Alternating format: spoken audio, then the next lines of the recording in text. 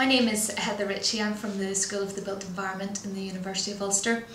Today I'm going to be talking on giving some views of stakeholder engagement from a marine planning perspective. And really what my uh, PhD research was really trying to do was actually to gather and analyse stakeholder perspectives of what they thought about marine spatial planning in terms of where they think it should be going. And in that I was trying to capture that while stakeholders may agree that marine spatial planning is effectively a good thing to do, because there are so many different sort of viewpoints and opinions and epistemological stances and lots of different power influences in the process, people are going to have different perspectives.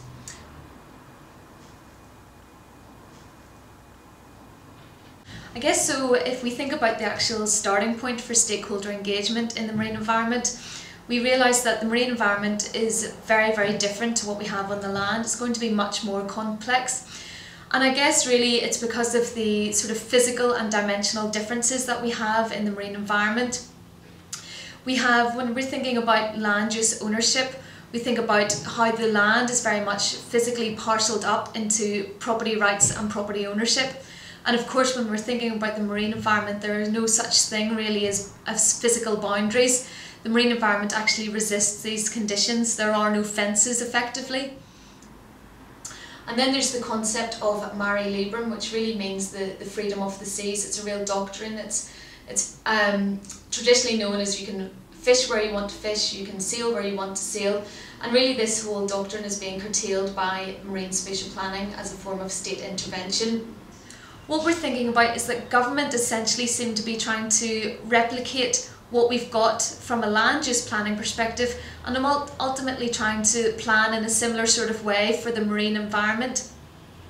And in terms of their views on stakeholder engagement for marine spatial planning, they seem to be really seeking that all stakeholders will be in involved through forms of public consultation and that's very much a statutory mechanism that we've really developed up from the land and they don't really seem to be open to really looking at sort of new innovative ways of how we can begin to plan for the sea in a slightly different way.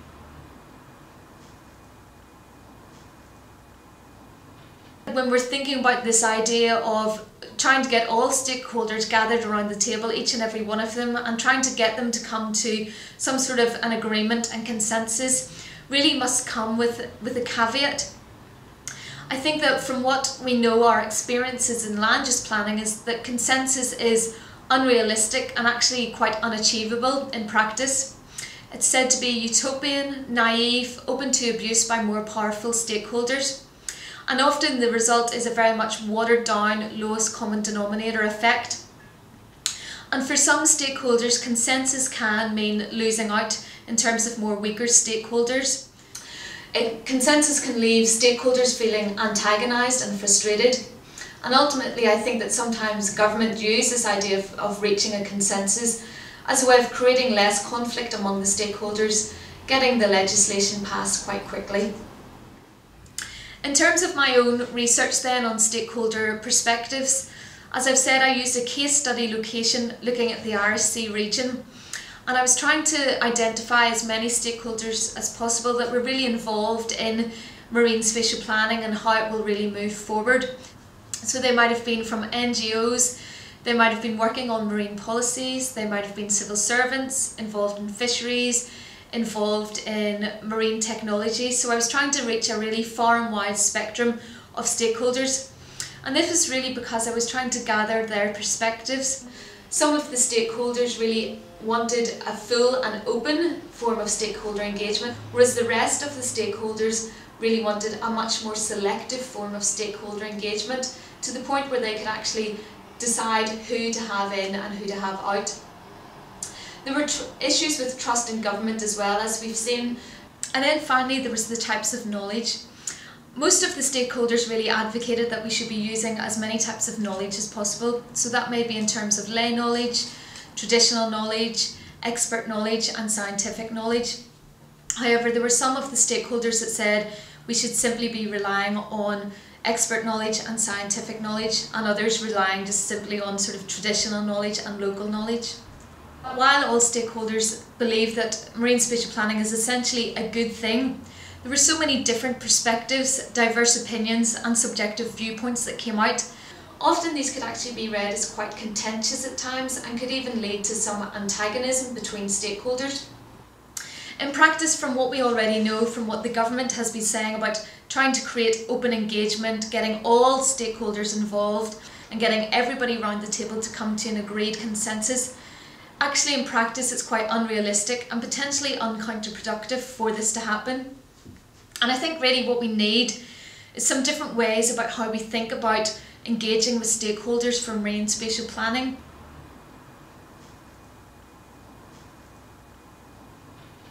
An alternative theory that's currently developed in planning is around a concept called agonism and adopting agonistic approaches. It values contest and conflict and frustration as an actual tool that can be used to more effectively deal with planning disputes. It forces stakeholders to come to some sort of agreement to a settlement. It encourages them to set their differences aside and actually agree to disagree in some matters. And really what one of the values about agonism is that it actually accepts that sometimes antagonism, frustration and conflict cannot be eliminated from the process.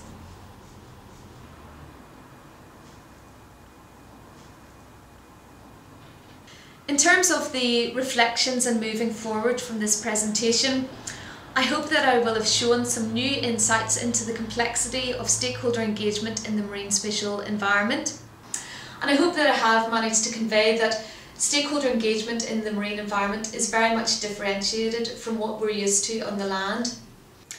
And I think that from what I've been saying about government expecting all stakeholders to come to the table and to reach some sort of agreement and consensus is actually quite unrealistic in practice. And it can still be very democratic as well, as long as we give all stakeholders a right to, to be involved and give some stakeholders who aren't maybe directly involved some form of feedback and consultation to still be involved. By building these safeguards into the process, we can still ensure that it is productive and legitimate.